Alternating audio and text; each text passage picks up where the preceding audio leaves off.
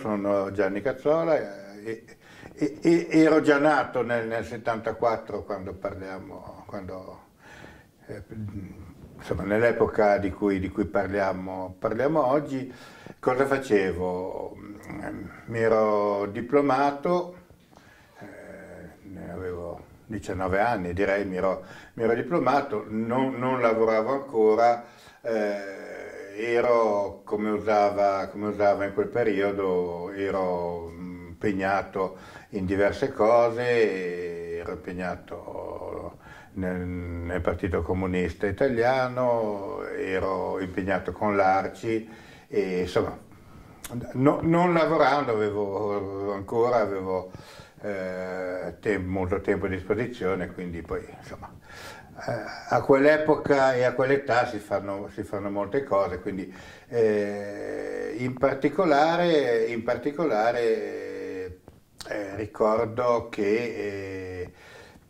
eh, questa cosa qui eh, delle bombe eh, io avevo collaborato eh, parecchio alla famosa vigilanza, con iniziative di vigilanza, proprio perché facevo attività di partito. Io non ricordo molto la sequenza, la sequenza degli episodi, eh, perché appunto sono passati, sono passati, molti anni. Ricordo bene, direi, il clima, che era un clima, era un clima naturalmente di grande preoccupazione, ma ehm, ma anche positivo, nel senso che comunque la reazione che era stata messa in campo aveva anche creato lo spirito appunto eh, positivo, non di, non di, rassegnazione, non di, non di disperazione, ma insomma, pur, ne, pur, nella paura comprensibile di, eh, comunque di un tentativo di, di reagire. Eh, qual era stato questo tentativo di reagire? Era stato fondamentalmente il fatto che nei vari quartieri della, eh, della città erano stati costituiti questi centri di vigilanza dove si organizzavano appunto eh, delle turnazioni, specialmente di sera e di notte, per, eh, per, appunto, per creare un clima di sicurezza e a queste e a questi turni di vigilanza, a queste attività appunto di presidio del territorio, io ricordo che aveva partecipato veramente, veramente molta gente, questo, questo lo, ricordo, lo ricordo bene. Io abitavo eh, nel quartiere di Oltre Timbro, eh, in via Maciocio, eh, e appunto collaboravo, anzi ero segretario della sezione del, del Partito Comunista che si trovava in, eh, in via Aglietto. Adesso non ricordo se quei tempi lì si chiamava già via Aglietto o si chiamasse ancora via Pescetto, comunque quella che attualmente è e via Lieto. Ricordo, e questa cosa eh, non è ininfluente in realtà, ricordo che eh, appunto io insieme delle altre persone ovviamente avevamo cominciato a, a, a, collaborare con questa sezione del partito che era nelle case operaie in una, in una, situazione, in una situazione anche un pochino di di, di, di degrado dal punto di vista del, delle strutture e eh, dico questa cosa che assolutamente non, non è ininfluente nel, nel, nella descrizione della cosa, avevamo fatto anche eh, un lavoro di, eh, ma non solo di pulizia, di, di, di, restauro della sede di questa sezione che era, eh, adesso è un, un po' difficile da descrivere, comunque eh, quasi uno scantinato di questo lungo, di questo lungo edificio di via, di via Lietto, che erano le case operaie, e che erano in una situazione di, di degrado, che invece avevamo ristrutturato e a quel tempo lì era stata appena, appena ristrutturata, rimbiancata, insomma sistemata negli arredi, era anche, era anche diciamo carina. E questo c'entra perché per questo motivo si scelse quella sede lì come, scelta, come sede del, del, del, del, comitato, del comitato di vigilanza, perché appunto eh, la sede era bella pulita, state, era stata eh, sistemata abbastanza bene, quindi si scelse quella, quella, quella sede lì. Eh, io ricordo che oltre a, alle persone lì che giravano attorno alla sezione eh, parteciparono a questa iniziativa di, di, vigilanza molte altre persone, soprattutto ovviamente cittadini non etichettabili, eh, molti sicuramente sì, ma soprattutto molte persone che giravano attorno alla parrocchia di San Giuseppe, perché, eh, perché eh, questo è l'altro elemento che credo che sia importante eh, da ricordare per quell'epoca lì, era eh, vivo e anche molto vivace il comitato di quartiere, comitato di quartiere che si riuniva o in parrocchia o eh, presso la CISL che ha di nuovo la, la sede lì. Poi successivamente eh, trovarono una sede sempre in via, sempre in via Lietto al, al, Consiglio di quartiere a quei tempi lì eh, e quindi mh, anche queste persone eh, del Consiglio di quartiere eh, parteciparono, parteciparono, a questa cosa. Eh,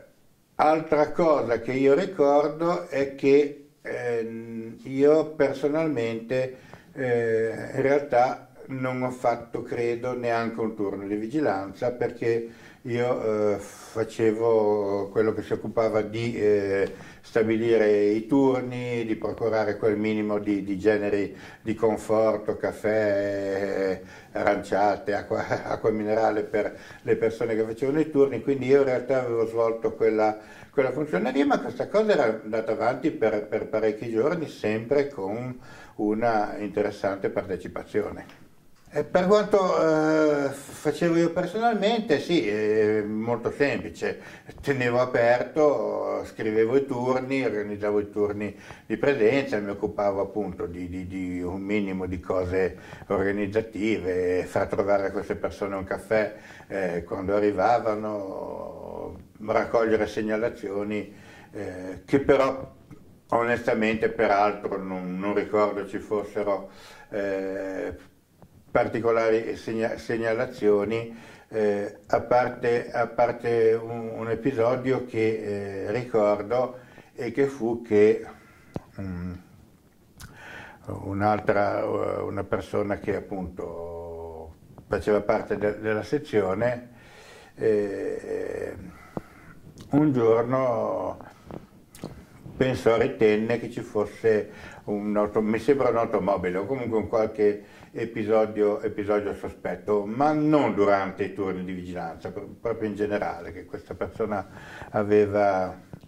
credeva di aver notato o aveva notato questo fatto. Eh, e allora chiese un appuntamento, eh, chiedemmo un appuntamento al comandante della stazione dei carabinieri che è sempre lì in Corso Ricci, e quei tempi era lì in Corso Ricci, sull'angolo con, con via Don Minzoni, e questo ufficiale dei carabinieri fu molto gentile, ci ricevette, ma non credo che prese molto sul serio la, la nostra segnalazione. Il comitato nacque eh, dall'incontro appunto tra uh, la sezione che ripeto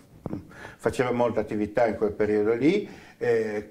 comunque questo gruppo parrocchiale che era, che era vivace e il consiglio di quartiere che poi comunque a sua volta era fondamentalmente di nuovo l'incontro tra parrocchia e, e, consiglio. Credo che la decisione, a parte che, allora, intanto questa decisione veniva presa in tutti i quartieri di Savona, quindi non è che eh, fosse un'idea nata chiaramente, però credo che eh, la decisione venne presa appunto in un in un incontro tra, appunto, tra la sezione, il consiglio di quartiere queste persone della parrocchia, quindi fu una decisione condivisa. E come dicevo prima la scelta della sede fu proprio per quel banale motivo lì che eh, era stata mm, appena sistemata, quindi era pulita, ben accogliente, fu scelta quella del partito, ma non perché l'iniziativa fosse un'iniziativa particolarmente targata PC, ma proprio per quel motivo molto, molto concreto e molto semplice che ho detto. Su cosa eh, è cambiato nel sentire della gente tra allora ad oggi è un pochino da, eh, difficile da dire perché sicuramente condizionato eh, dal fatto che appunto c'è anche un, un, vissuto personale per cui c'è sicuramente eh, diciamo dire un rimpianto se si può dire così per un'epoca dove sicuramente la partecipazione la consapevolezza della gente era sicuramente maggiore di oggi. Il fatto stesso che questo episodio, al di là del tempo, che cancella le, i ricordi o cosa, ma il fatto che questo episodio, episodio oggi sia pochissimo conosciuto eh, e raccontato dai savonesi, credo che la dica lunga. Io ricordo che eh, il sentimento di allora, appunto, certamente di paura, di preoccupazione, ma anche molto propositivo, nel senso che comunque sembrava di sembrava, e forse era effettivamente così, eh, sembrava di, di costruire dei, dei, rapporti anche diversi, più avanzati, di eh, costruire degli elementi di partecipazione della gente eh, alle, questioni, alle, questioni, sociali, condivise, ma pubbliche. Insomma, io credo che oggi onestamente sarebbe, sarebbe impensabile e questo, e questo sì, è un elemento di riflessione molto amara. Però bisogna tenere conto che c'è anche il fatto che eh, un conto è quanto può percepire un ragazzo di 19-20 anni, quindi con l'entusiasmo, l'energia che si può avere a quell'età lì, eh, piuttosto che, che, poi quanti anni sono passati, 40, 50, eh, e quindi sicuramente quell'elemento lì incide. Però temo, temo che quella cosa lì, con quelle caratteristiche, con quella disponibilità, con quella disponibilità anche a superare le divisioni, perché io mh, ricordo che a questa cosa parteciparono persone di orientamenti diversissimi, persone non impegnate, insomma credo che mh, una cosa di questo tipo qui oggi, oggi mh, purtroppo temo che non, che non sarebbe possibile. Quelli erano tempi di movimento studentesco,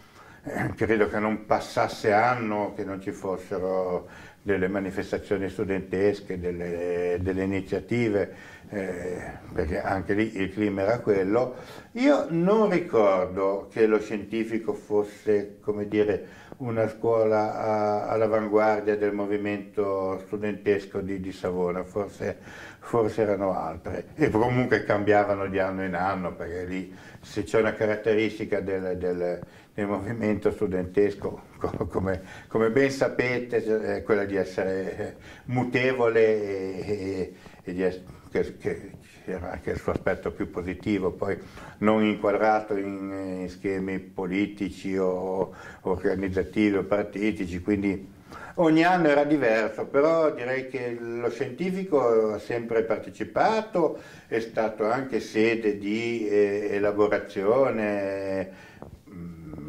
nella generazione precedente alla mia c'erano stati anche personaggi importanti della politica, della politica savonese che erano passati, passati, di lì, quindi sicuramente una sede anche di elaborazione e di discussione. Non lo vedo come scuola di avanguardia, ma sicuramente ha sempre partecipato. Ricordo questo, questo episodio che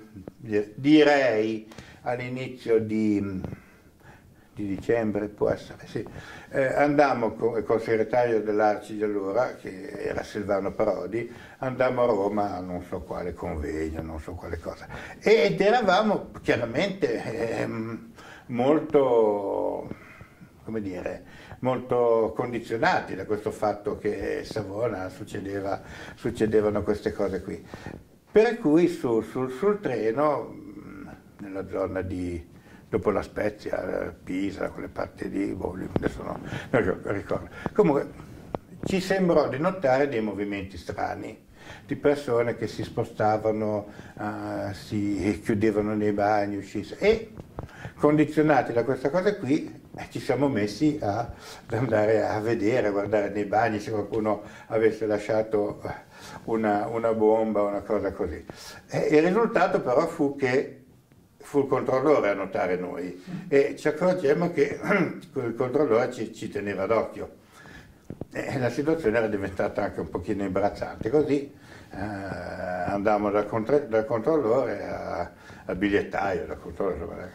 e, e, gli spiegammo questa cosa, cioè, gli abbiamo detto siamo di Savona, come saprà Savona, e quindi siamo un po', un po sensibili. E lui ci spiegò che in realtà in quella tratta lì veramente Pisa, l'università, c'era molta gente che saliva senza, senza, biglietto, faceva i pochi chilometri, scendeva alla fermata, che so io, di Pisa, eccetera, studenti probabilmente, senza pagare, e quindi era abbastanza normale questo movimento di persone che cercava di, di fare quel pezzo di, di strada lì senza pagare il biglietto. Però ehm, l'ho detto, l'ho raccontato per una stupidaggine, ma l'ho raccontato perché appunto è significativo di come credo che eh, le persone a Savona non, ter- non, terrorizzate, non eccessivamente impaurite, ma sicuramente molto segnate da questa esperienza lo erano, lo erano state.